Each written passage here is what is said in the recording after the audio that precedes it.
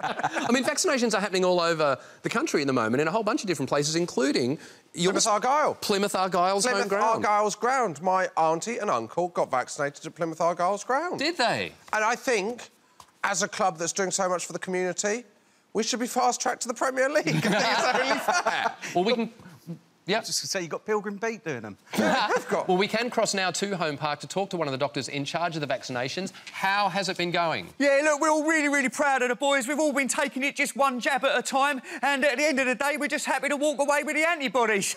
um, can, can you describe the vaccination process? Yeah, well, what I've done is I've seen the open sleeve, I've got the dose ready, I've steadied myself, and then I've stuck it in the back of the neck.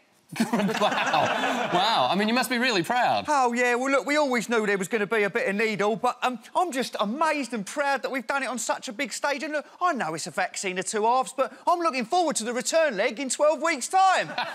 Amazing. Well, listen, thank you so much for your time. Oh, yeah, I better get back to it.